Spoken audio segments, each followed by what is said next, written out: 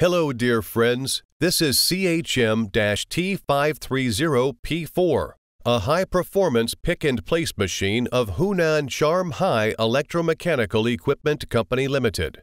It is characterized by 30 feeder sticks, support for Yamaha pneumatic feeders, electric feeders, and stick feeders with tubular components, four heads capable of 360 degree rotation, automatic correction to pick components, automatic positioning through recognition of mark point, and integrated operation with built-in industrial computer.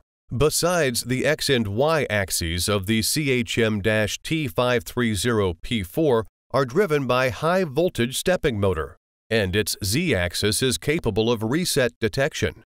CHM-T530P4 possesses the capability to mount small components with 0402 as the minimum one.